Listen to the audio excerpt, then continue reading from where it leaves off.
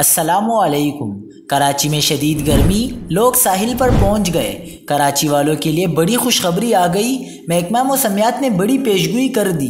क्या आप हालात हाजरा से आगाही हासिल करना चाहते हैं?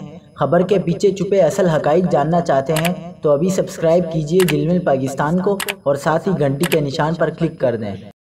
आपको बताते चलें कि कराची में इन दिनों सूरज तपिश से आवाम को खूब तपा रहा है, लेकिन खुदा भला करे समंदर का, जो हमेशा ही शहरियों को अपनी ठंडी ठंडी लहरों की जानब खींच लेता है। कराची के शहरियों ने समंदरी लहरों के साथ इंजॉय करते हुए खूब पिकनिक मनाई।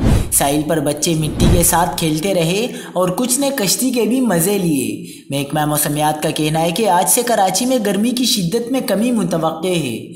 आज पीर और मंगल को दर्जा हरारत चौंतीस से छत्तीस डिग्री के दरमियान हो सकता है।